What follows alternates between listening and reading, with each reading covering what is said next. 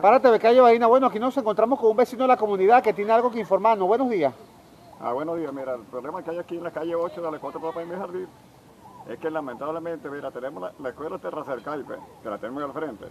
Tenemos la del Valle. Y cuando esto cae los palos de agua, los niños andan nadando por, por esa calle.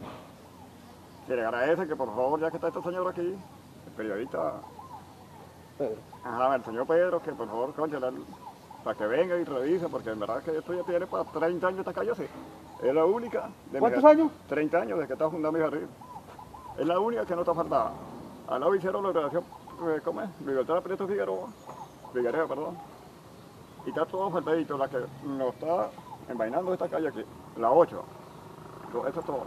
Bueno, sí, que el señor está informando que la calle 8 es la que está asfaltada. Tiene 30 años, señoras y señores, desde que se fundó esta comunidad y no han venido a repararla. 30 años para que lo escuche. Quiere decir que han pasado gobernadores y alcaldes demasiados por allí, competencia y nadie se ha abocado a la reparación de esta calle. Y también ha dicho que cada vez que llueve esto se inunda y los niños juegan tranquilamente como si fuera una piscina.